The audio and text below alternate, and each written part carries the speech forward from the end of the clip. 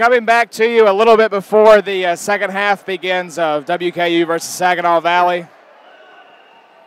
Uh, gentlemen, your impressions from the game so far. You can take takeaways from Saginaw Valley or WKU's play. Alex, we'll start with you. Uh, I've actually I've been really impressed with Saginaw. I mean, I'm not surprised with how they're playing, but the communication, the teamwork, um, I've been very impressed with them. Western again, they've made a couple of what I would call rookie mistakes, and uh, I know the captain just had a pretty long talk with them about it. So we'll see if they can remedy any of those. Ben.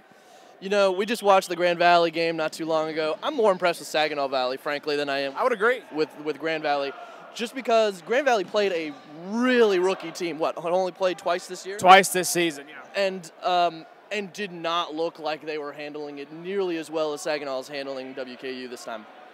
Yeah, we'll see, but I have been very impressed. I haven't seen Saginaw play this year, so very impressed with them thus far, and I think they'll definitely be in the mix um, on Sunday. We'll have to see how they hold up against a little stiffer competition. Again, we all love WKU being alumni of the program, but they just were not as strong this season coming into this tournament 2 and 17. Yeah. Not, not, as strong is a very generous way to play. Well, I, you know, I, I, got a soft spot, soft spot in my heart for the Hilltoppers, so I always try to dress it up a little bit. What confuses me about that, two and seventeen, it sounds awful, but the thing is, frankly, ooh, he got two catches. Wow! Two Look catches at that. That was phenomenal. That was absolutely outstanding. That was unbelievable. Have to take this momentum swing right here, right now look, look, look. Look at how long it's taking them. Look at how far back they are on that right hand side. That was such a slow retaliation. You have a timeout here? Yeah, I'm not sure what's going on. Shot clock violation? Saginaw Valley is yelling at each other, by the way. I'm, I'm seeing some curse words flying at their own uh, teammates off to the side. Oh so. How? There was like. Has there even been 15 seconds in this first point? This is that's just bizarre.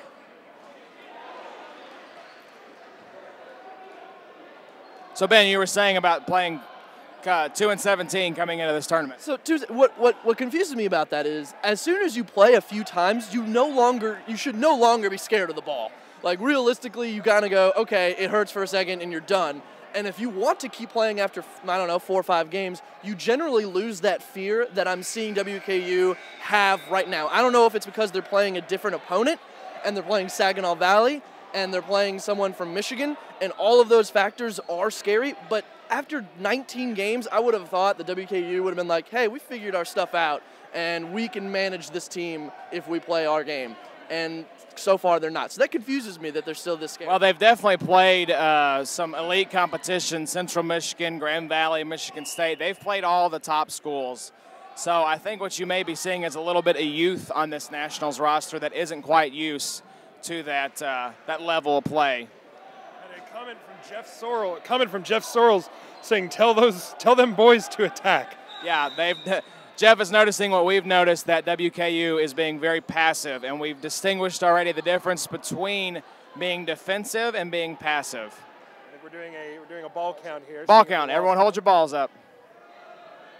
You know, Alex made a really good point uh, at the half uh, to an audience member here um, he was saying that there's a major advantage for WKU this half because of the nets that are in the back that stop the balls from ricocheting back. On the other on the other side, where Saginaw Valley is right now, the balls ricochet off the wall and have a very high likelihood of going back to WKU if they're throwing hard enough and they uh, and they ricochet. So.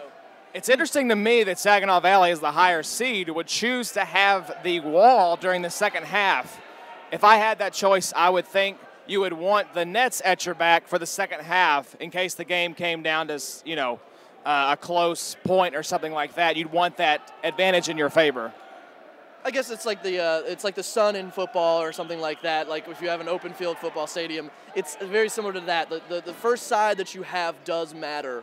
Um, and so, yeah, this is this this should be much more in favor of WKU this time. To be perfectly honest, I have no idea what just occurred on the court. A lot of discussion amongst the officials and the team captains, but apparently we're back at it now. Well, I think we had a little confusion about the number of balls, and there's just been a lot of, of discussion happening. I'm not quite sure what's going on here. But yeah, what's really frustrating to see is what we talked about already, which is a lot of WKU throws at blockers. Which I have been preaching from day one, makes zero sense. Why waste your arm and a throw on a blocker who is very, very likely going to block your throw? And another one. You only have so many throws in your arm for this weekend, so you got to make every one of them count. And throwing at a blocking opponent is just asinine to the nth degree. Now this. How do you explain these slow counterattacks from Western?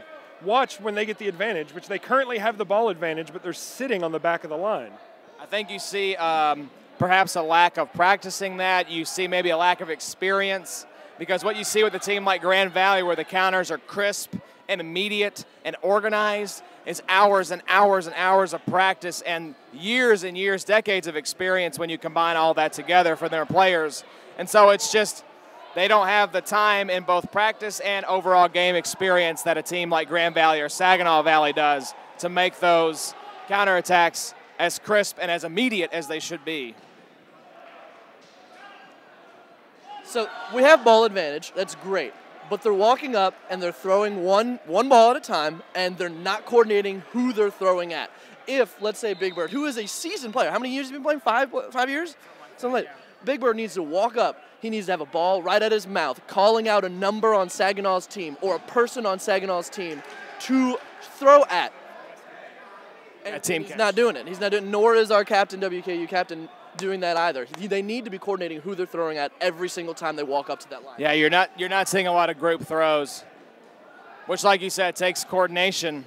And I do wonder if some of the younger members of this roster just don't have that kind of mindset yet to where you team up and counterattack quickly. And so many throws happening from behind the free throw line, which is completely inexcusable. You talk about not even getting up to half court. If you're throwing from that far back, you're not. Nothing good is going to happen from a throw like that. Honestly, I think it's more on the leadership than anything else to do to make that happen.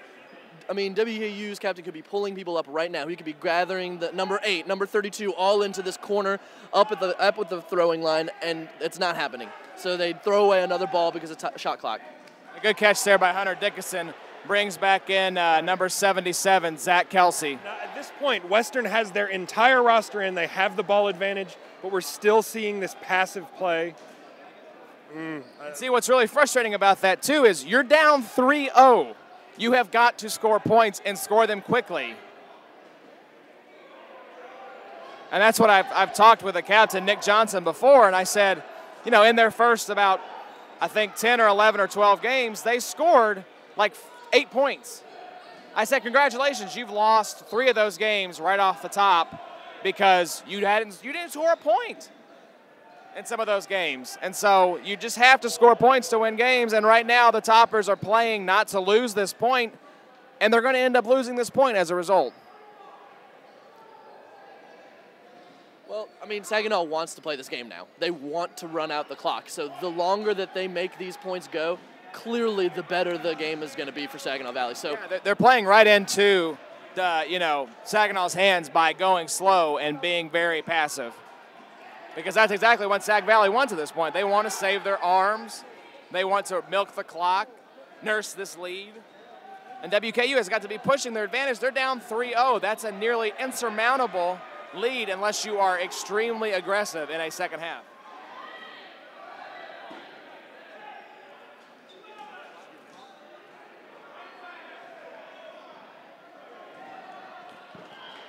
And we go now to another WKU alumni, Andrew the Survivor Swanson. Swanee, what are you seeing out of the toppers so far this game? Um, catches are fantastic, really, especially that second point. Uh, this point, I think they've had three catches, but what it's coming down to is executing in the late part of the point. They were up five, six, seven people that second point and did not execute. And Saginaw did. It's not that we played to, you know, it's not that we got caught. It's not that they came back that way. They executed. And I think that's really what it's come down to. They're not playing bad. I think they're actually playing really, really well. And if they continue this, hopefully they can keep their heads up and roll this into tomorrow and make make a good run tomorrow. But you have to uh, think that at some point, this passive style of play, you have to score three points in this second half to be able to tie the game up. And playing this with this defensive mindset does not help them right now. Yes, I agree. In this situation, you're down three points. They scored that third point, or Saginaw scored that third point in four or five minutes. So you have to play at that pace in order to make this competitive, and they're not. So you got to think of where your mindset's at. Are they trying to win this game, or are they thinking ahead? You would think with their style of play that they're that they're thinking ahead, but who knows? Who knows? Well, thank you very much, Swanee. Enjoy the rest of the game. It was good Thanks. talking to you, buddy. All right, back in the booth now with my two compatriots. Uh, I want to comment on that. Uh, he's right. WKU is not playing bad. They're playing strategically wrong. And it's not that it's bad, it's just not going to win them games here at a national level. That's all there is to it. And maybe, like Swanee said, their goal is not necessarily to win this game, but uh, just to uh, perfect their style of play or work on their style of play and get ready for their next two matchups, which they will actually be the favorite in at least one of those, and you could argue in both of those. So maybe they're ironing out some kinks right now, seeing what works, what doesn't work. I'm not sure, but you have to think there's some kind of strategy involved in what in what WKU has been doing so far this game. And we are closing in on about 21 minutes left in the second half.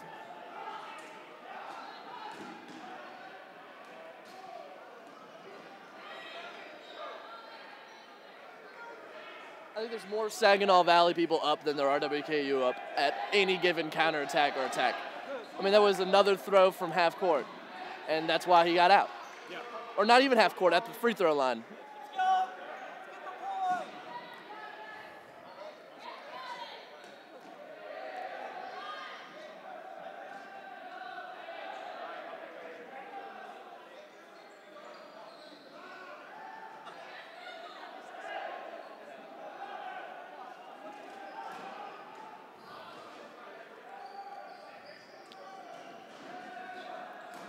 I think if you're WKU at this point, you at least have to try to score a point in this game to get your confidence up, even if you don't think it's feasible to try to score three against a team of Saginaw Valley's caliber. You have to at least get a point and boost your confidence here going into your next game.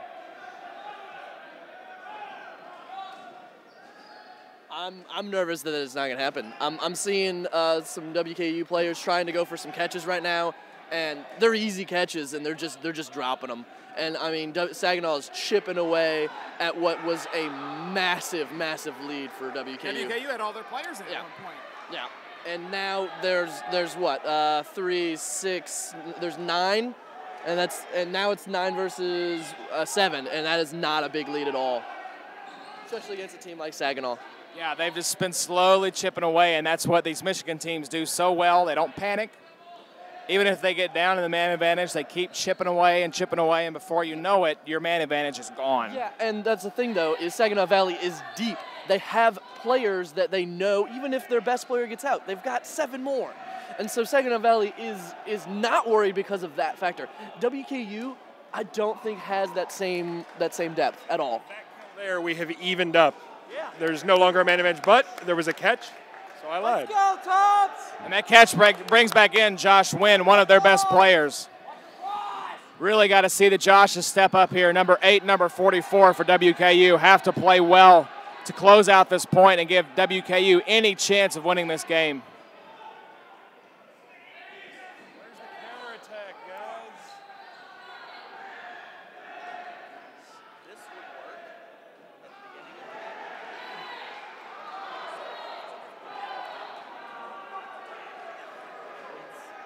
Swanee making the comment that this strategy from WKU would work at the beginning of the game, but now with this kind of deficit, WKU is digging their grave with each passing second that they are not the aggressor. Good dodge there by number 32, Hunter Dickinson.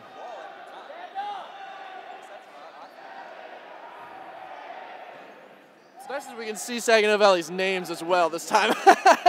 Yeah, so we we, can say Gaskins going in, yeah. Hoffman with the kill, something. It's a little difficult. Eight, eight to six now, I believe. Western's advantage.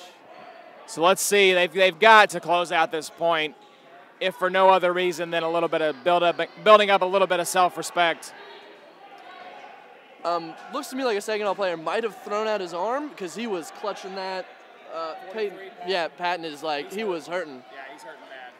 That that's not a fun thing to throw out your arm on the first game of, of Grand of Nationals. Got a timeout. It looks like he's uh, Patton is uh, taking off his jersey. It uh, appears he may have injured his shoulder. Going over to the bench right now. So I think what they did was they subbed in a player off their bench for Patton because his shoulder was hurting so bad. Stoppage and play here as Saginaw Valley substitutes out their injured player.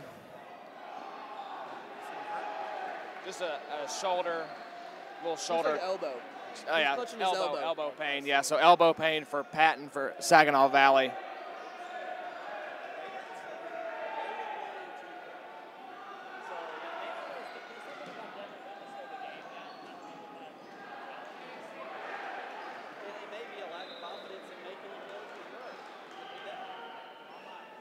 I was blown away at the alumni game. How slow Lane was. I was. And I mean, we're we're, we're ten minutes in to this half. With the All right, looks like we're about to resume play here in the fourth point from WKU versus Saginaw Valley. The injured Saginaw player is testing his elbow on the bench right now.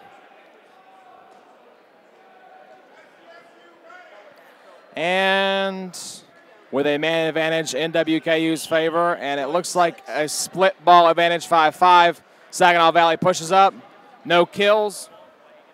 And it, uh, again, brutally slow counterattack. Yep. It's like frozen molasses counterattack.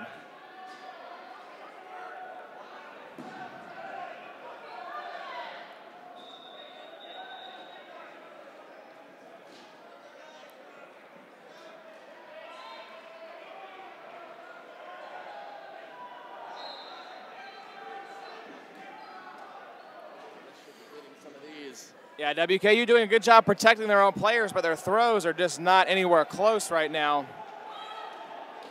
A nice catch there by Hunter Dickinson. Gets Big Bird back in too. Another one of their arms. That's a nice catch. What WKU has done really well since we've all graduated is they've become a much more of a catching team. And so that kind of strategy serves you very well at a two day tournament where your arms will be absolutely shot the second day. So it's great that they are using catches to their advantage, but they're going to have to start getting some outs because you can't rely on catches to take you all the way home.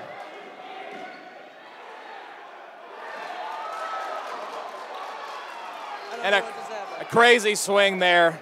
That's um, wow, three players out in a row for WKU.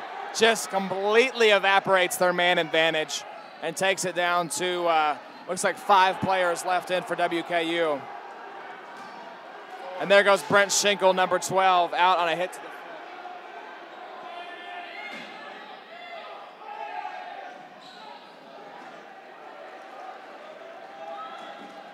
Oh, and a catch by Big Bird. Attempted catch there by Josh Wynn takes him out. But Nick Johnson does come back in on the catch by Big Bird. And a very nice catch because I think it hit him right in the stomach, so it stunned him a little bit, but he was able to hold on to it. Now, the strategy of being very passive works right this second because you can't run yourself out because I don't know, people in, at home don't really know how exhausting it can be to be the last couple players at uh, in, the in the in the point for one team. It is so exhausting. Oh, it is. So right now it is okay to be passive, but they lost their opportunity to be aggressive in the mid game, and it's it's now the reason why they have to play passive again. Yeah.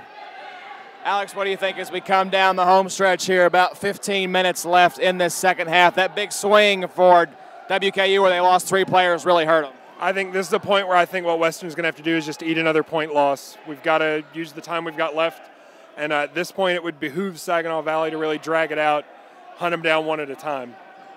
They just kind of try to get some more catches. That can still swing this game in WKU's favor. They have used that to their advantage. But there goes number 20, Everett Taylor, on a catch by 73 for Saginaw Valley. takes it down to four to Hilltoppers left. And Big Bird goes out there on a gray shot to the head. So that leaves us with just Nick Johnson and 88 Aaron Hedges left in. Two very veteran players, but uh, not the greatest arms. Very, very good catchers, though. So we'll see if they can get themselves a catch here and bring some of their teammates back in. Swanee, you have something to say. What's going on? Yes. So, from a leadership standpoint, what Western needs to do for the next few points is take away what they've done well this entire game. You can't look back at, oh, we didn't make kills this game. They got to move on to the next game in order to, to progress throughout what the have they done well? Catches? Catches. Catches, communication, I feel like it's pretty good, but they got to look at the things they've done well and improve on the things they haven't, which is throwing, group throwing, and being, being assertive. Very good. Thank you, sir. Oh, and a great attempted catch there by number 15 does not work out. Mark here in the second half.